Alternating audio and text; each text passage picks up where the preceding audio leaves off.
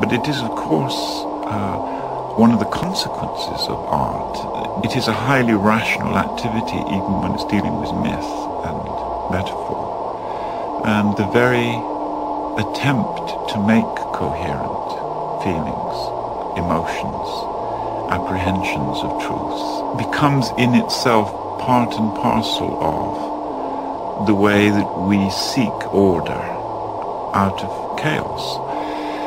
You could even say justice and mercy and pity and the desire for peace, all those things are all aspects or functions of order as opposed to chaos. I don't mean order in that cheap way that politicians use the word. I don't mean order as the attachment to law and. I mean coherent.